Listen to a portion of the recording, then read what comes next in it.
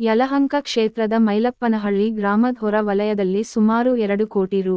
ಅಂದಾಜು ವೆಚ್ಚದಲ್ಲಿ ನಿರ್ಮಿಸಿರುವ ಸೀತಾರಾಮ ದೇವಾಲಯವನ್ನು ಮೈಸೂರಿನ ಒಡೆಯರ ರಾಜಗುರುಗಳಾಗಿದ್ದ ಪರಕಾಲ ಮಠದ ಸ್ವಾಮೀಜಿ ಮತ್ತು ಶಾಸಕರಾದ ಸನ್ಮಾನ್ಯ ಶ್ರೀ ಎಸ್ ಆರ್ ವಿಶ್ವನಾಥ್ರವರು ಹಲವು ಆಗಮಿಕರೊಂದಿಗೆ ಗುರುವಾರ ಉದ್ಘಾಟಿಸಿದರು ದೇವಾಲಯದ ಉದ್ಘಾಟನೆಯ ಅಂಗವಾಗಿ ಐವತ್ತಕ್ಕೂ ಹೆಚ್ಚು ಆಗಮಿಕರ ಸಹಯೋಗದೊಂದಿಗೆ ಸೀತಾರಾಮ ದೇವರಿಗೆ ವಿಶೇಷ ಅಲಂಕಾರ, ಹೋಮ ಹವನ, ಕಳಶ ಪ್ರತಿಷ್ಠಾಪನೆ, ವಿಶೇಷ ಪೂಜೆ, ತೀರ್ಥ, ಪ್ರಸಾದ ವಿನಿಯೋಗ ಅನ್ನಸಂತರ್ಪಣೆ ಸೇರಿದಂತೆ ಹಲವು ದೇವತಾ ಕಾರ್ಯಗಳನ್ನು ನೆರವೇರಿಸಲಾಯಿತು.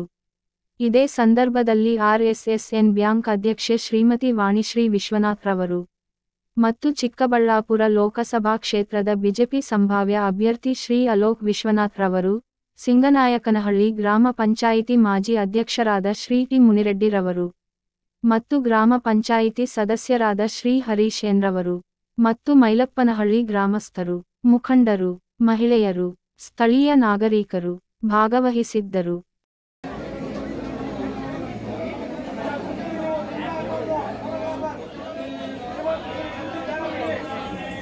ಮೈಲಪ್ಪನಹಳ್ಳಿ ಗ್ರಾಮದಲ್ಲಿ ಶ್ರೀರಾಮ ಮಂದಿರ, ಸೀತಾ ಲಕ್ಷ್ಮಣ ಆಂಜನೇಯ ಸಮೇತರಾಗಿರ್ತಕ್ಕಂಥ ಭವ್ಯವಾದಂಥ ಮಂದಿರವನ್ನು ನಮ್ಮ ಮೈಸೂರಿನ ಮಹಾರಾಜರನ ಗುರುಗಳಾದಂಥ ಪರಾಶರ ಮಠದ ಕಡೆಯಿಂದ ಇದು ಸಂಪೂರ್ಣವಾಗಿ ನಿರ್ಮಾಣ ಆಗಿರ್ತಕ್ಕಂಥದ್ದು. ಅಯೋಧ್ಯೆಯಲ್ಲಿ ಬಾಲರಾಮನ ಕೆತ್ತಿದಂಥ ಶಿಲ್ಪಿಯವರೇ ಇದನ್ನು ಕೂಡ ಯೋಗಿ ಕೆತ್ತಿರ್ತಕ್ಕಂಥ ಸೇಮ್ ಅದೇ ಥರನೇ ಕಾಣಿಸ್ತಾ ಇತ್ತು ಮತ್ತು ಇವತ್ತು ಪೂರ್ತಿ ದೇವರಿಗೆ ಬೆಳ್ಳಿ ಕವಚ ಉತ್ಸವ ಮೂರ್ತಿಗೂ ಕೂಡ ಬೆಳ್ಳಿ ಕವಚಗಳನ್ನು ಮಾಡಿರ್ತಕ್ಕಂಥದ್ದು. ಮತ್ತು ಉಡುಪಿಯಿಂದ ಕೂಡ ನಮ್ಮ ಗ್ರಾಮೀಣ ಪ್ರದೇಶದಲ್ಲಿ ಈ ಥರ ರಥ ಎಲ್ಲೂ ಕೂಡ ಇಲ್ಲ. ರಥವನ್ನು ಕೂಡ ಇವತ್ತು ಈ ದೇವರಿಗೆ ನೆನ್ನೆನೆ ತಂದು ಅದನ್ನು ಪೂಜೆಯನ್ನೆಲ್ಲ ಕೂಡ ಮಾಡಿರ್ತಕ್ಕಂಥದ್ದು.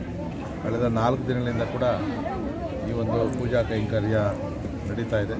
ಇಡೀ ಗ್ರಾಮಸ್ಥರು ಈ ನಾಲ್ಕು ದಿನದ ಕಾರ್ಯಕ್ರಮದಲ್ಲಿ ಕೂಡ ಭಾಗವಹಿಸಿ ಸಂಪೂರ್ಣ ಜವಾಬ್ದಾರಿಯನ್ನು ತಗೊಂಡು ಈ ಕಾರ್ಯಕ್ರಮವನ್ನು ನಿರ್ವಿಘ್ನವಾಗಿ ನೆರವೇರಿಸಿ ಪ್ರಾಣ ಪ್ರತಿಷ್ಠಾಪನೆ ಎಲ್ಲವನ್ನು ಕೂಡ ಮಾಡಿದ್ದಾರೆ.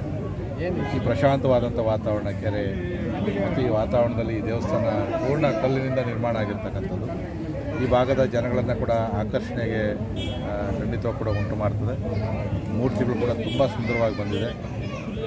ಈಗಂತೂ ಇತ್ತೀಚೆಗೆ ಎಲ್ಲ ಕಡೆ ದೇವಸ್ಥಾನಗಳನ್ನು ಪೈಪೋಟಿ ಮೇಲೆ ಕಟ್ತಾ ಇರ್ತಕ್ಕಂಥದ್ದು ಪ್ರಾರಂಭ ಆಗಿದೆ. ಬಹುಶಃ ಇದು ನಮ್ಮ ಹಿಂದೂ ಜನಗಳ ವೈಭವ ಮತ್ತೊಂದು ಸರಿ ಪ್ರತಿಷ್ಠಾಪನೆ ಆಗ್ತದೆ. ಈಗ ಅಯೋಧ್ಯೆಯಲ್ಲಿ ಬಾಲರಾಮ ಆದಮೇಲೆ ಭಾಳಷ್ಟು ಕಡೆ ಈ ಥರ ರಾಮ ಮಂದಿರಗಳ ನಿರ್ಮಾಣ ಕೂಡ ಆಗ್ತಾ ಇದೆ. ಬಹುಶಃ ಅದಾದಮೇಲೆ ಅದೇ ಮುಹೂರ್ತದಲ್ಲಿ ನಾವು ಕೂಡ ಪೂಜೆಯನ್ನು ಮಾಡಿದ್ದು.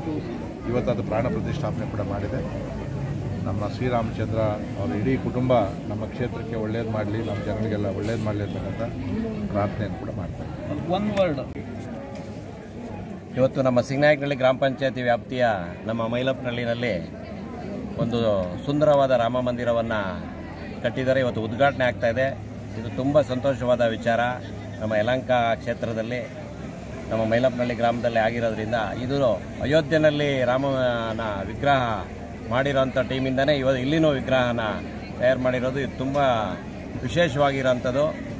ಇದು ಭೂವರ ಸ್ವಾಮಿಗೆ ಆಗಿರೋಂಥ ಮೆಟೀರಿಯಲ್ಗೆ ಏನು ಅಲ್ಲಿದಾಗಿತ್ತು, ಅದನ್ನು ತಂದು ಇಲ್ಲಿ ಮಾಡಿದರೆ ಅತಿ ಶೀಘ್ರವಾಗಿ ಇಷ್ಟು ಬೇಗ ಇಷ್ಟು ಈ ಥರ ದೇವಸ್ಥಾನ ಕಟ್ಟೋಕ್ಕಾಗಲ್ಲ. ಈ ರಂಗನಾಥರು ನಮ್ಮ ಎಂ ಎಲ್ ಎ ವಿಶ್ವನಾಥರು ನಮ್ಮ ಈ ಗ್ರಾಮ ಪಂಚಾಯತಿ ಸದಸ್ಯರಾದಂಥ ಹರೀಶ್ ಅವರು ತುಂಬ ಪ್ರಯತ್ನ ಇದೆ.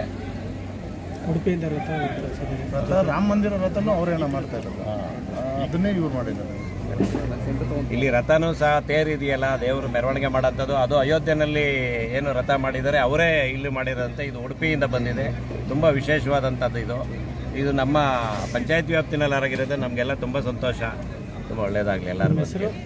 ನಮ್ಮ ಹೆಸರು ಮುನಿರೆಡ್ಡಿ ಅಂತ ಮಾಜಿ ಗ್ರಾಮ ಪಂಚಾಯತಿ ಅಧ್ಯಕ್ಷರು ಮೆಂಬರ್ ಸಿಗ್ನಾಯಕ್ನಲ್ಲಿ ಭಗವಂತನಾದ ಮರ್ಯಾದಾ ಪುರುಷೋತ್ತಮ ಶ್ರೀರಾಮಚಂದ್ರ ತ್ರೇತಾಯುಗದಲ್ಲಿ ಸ್ತ್ರೀಯರ ಮರ್ಯಾದೆಯನ್ನು ಕಾಪಾಡಲಿಕ್ಕೆ ಆದ ಅವತಾರ ಮಾಡಿರ್ತಕ್ಕಂಥ ಮಹಾವಿಷ್ಣುವಿನ ಅವತಾರ.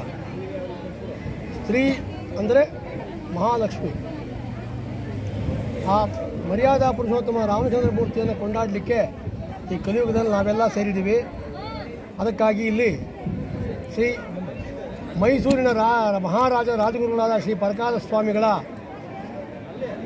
ಕೃಪೆಯಿಂದ ಅವರ ಉಪಸ್ಥಿತಿಯಲ್ಲಿ ಪೂರ್ಣವಾಗಿ ದೇವಸ್ಥಾನ ನಿರ್ಮಾಣ ಮಾಡಿ ವಿಗ್ರಹವನ್ನು ಮೈಸೂರಲ್ಲಿ ಹೆಸರಾಂತ ಶಿಲ್ಪಗಳಿಂದ ಕೆತ್ತಿಸಿ ಇಲ್ಲಿ ಮೂರು ಹಳೆಯ ಶಾಸಕರ ಹಾಗೂ ಹರೀಶ್ ಅವರು ಇವರ ತುಂಬ ಸಹಕಾರ ಕೊಟ್ಟಿದ್ದಾರೆ.